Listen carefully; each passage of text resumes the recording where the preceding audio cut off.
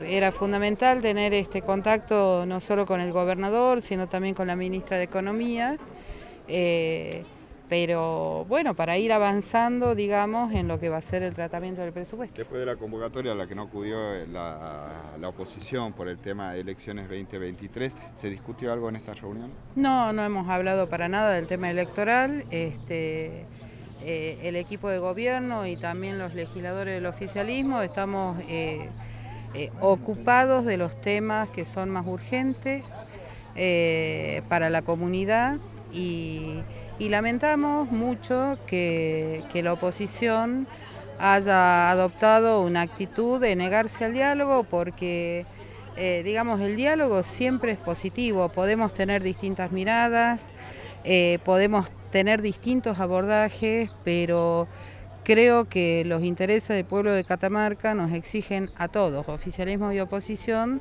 eh, hacer todos los esfuerzos necesarios para avanzar en, la solución de los problemas de la gente. Y negarse al diálogo creo que es una forma de desentenderse de las demandas de la ciudadanía. Diputada, ¿tiene conocimiento si el Ejecutivo tiene intenciones de extender el plazo de sesiones, llamar extraordinarias? Mire, de esto no se ha hablado porque veremos cómo evoluciona el tratamiento de, los proyectos que ingresen durante el periodo de sesiones ordinarias, así que eso lo evaluará oportunamente el, Poder Ejecutivo, porque es atribución del gobernador este, convocar a sesiones extraordinarias.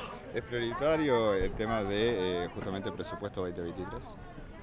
Creemos que es una de las prioridades, siempre a esta altura del año, lo mismo que la ley impositiva para el ejercicio eh, próximo. Así que, eh, bueno, avanzaremos sobre esos temas una vez que ingresen a la Cámara.